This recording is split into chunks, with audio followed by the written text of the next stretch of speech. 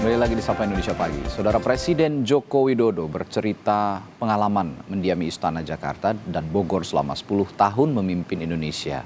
Jokowi mengaku selalu merasakan suasana kolonial setiap hari. Dalam sambutan dihadiri 517 kepala daerah, Presiden Joko Widodo berkelakar bahwa Istana Merdeka, Istana Negara, dan Istana Bogor merupakan istana yang dulunya digunakan oleh Gubernur Jenderal Belanda. Jokowi berujar selalu dibayang-bayangi kolonial saat ia berada di istana itu. Oleh karena itu, pembangunan IKN untuk menunjukkan bahwa Indonesia punya kemampuan membangun ibu kota sesuai dengan keinginan dan desain lokal. Bau-baunya kolonial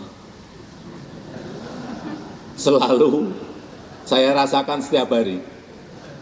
Dibayang-bayangi